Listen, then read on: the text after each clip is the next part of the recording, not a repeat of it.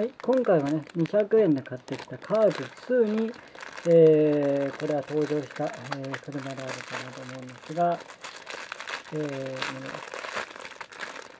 ー、で、えー、それが、えー、こちらになりまして、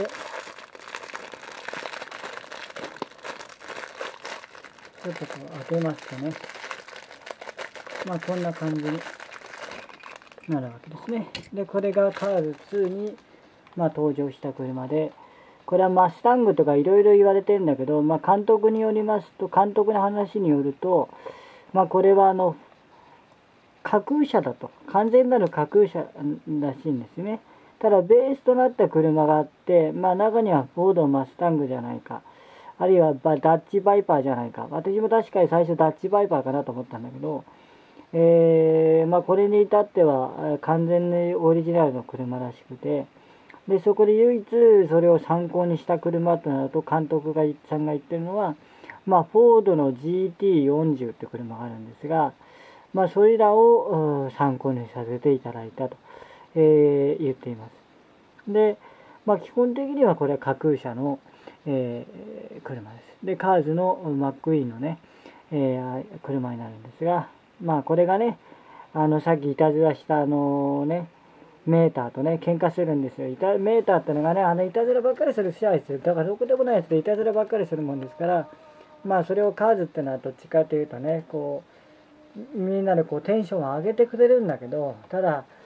同時にどっちかというとこう、俺は世界一番早くになりてんだって言ってる人だったから、だからあの、どうしてもこう、どっちかというとこうカーズっていうのはちょっとメーターと比べて天然の音吹けっていうよりはこう真面目真面目っていうかなその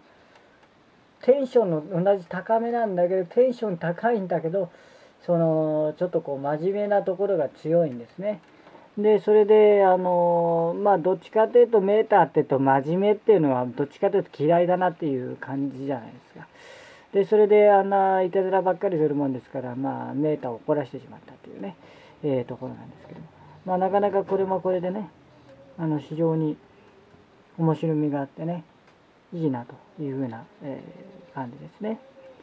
で、えー、こういうふうにメーターの、えー、車があって、で、こう95ってね、書かれてて、まあ、当時メーターは一番最初はね、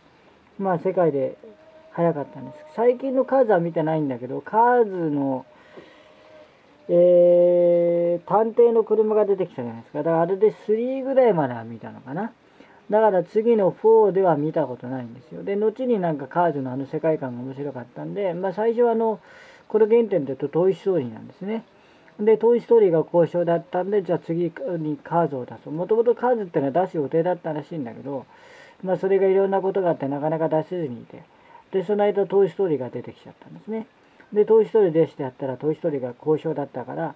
じゃあまあ、それで今度は車版ということで、まあ、カーズを出そうということで、そんでカーズが出てきた。で、カーズも、えー、カーズが出てきて、今度その次に今度なんか飛行機の、えー、舞台にしたジェット機かなんかのね、ものがね、えー、空を飛ぶ飛行機の、話で、えまた別のやつで出てきたんですね。で、それで、あの、なかなかいいんですけど、このカーズの世界観はなかなかいい、トイ・ストーリーにと同じ、で、会社が同じ化ですから、なかなか非常に素晴らしいものを持ってるなというところですね。でもこういう、なんか、カーズの世界ってんですね、カーズ、私もう一台持ってるんだけど、初期の1の方のカーズで、これ2の方のね、えー、カーズなんですけども、なかなかこういう、車っていうのはね、いいなというものをね、こう感じしてくれる、まあそういった、えー、車ではありますね。こうやって車ショットとね、こうやって映っていますけどね。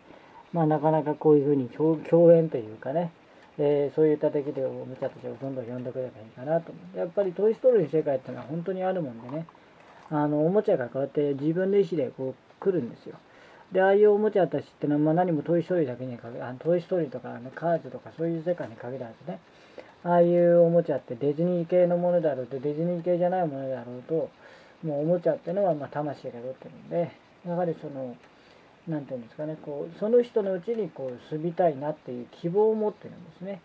でそれでそれをこう引き寄せるわけですよ。だって例えば人気のものだったらもうすでに他の人がこれ買ったって言ったらもうそれでおしまいになっちゃうじゃないですか。ところがそういうところを抜け出してきて、えー、そういうところでこうかわあの来たっていうのはやっぱりそういうふうに呼んできたということですね。だからまあそういうところが非常にそのカーズの世界観の中でまあそういう世界観じゃないそういうのがやっぱりおもちゃっていうのが引力ですね。だから磁石と同じで地球の引力と同じでそれと吸い付けられるものがあるからでそれでまあその人を選んだ。だからその人が例えば大人になるとまあ確かに大人になるといろんな大人の事情とか大人の世界観っていうのがこうまあある意味こう押し付けだよね。押し付けられてきちゃうから。だからなんかそれがもう正しいんだみたいになってだからおもちゃが勝手に人がいなくなって動き出すとか人が寝てる間に動き出すそんなことねえよみたいな。だけど昔からあるじゃないですか。おもちゃのねマーチってのが。ああいう世界観があるわけですね。だからあのそういうことは必ずしも否定はできないなっていうだからそれこそ瞬時 TV 社のねあの動画を見ていただければおもちゃが動いてる様子がはっきり分かるんであのそういうところでご確認できればかなと思うんですけどなかなかこのカーズはねいいなというふうに思うね、えー、車でございます。どうもありがとう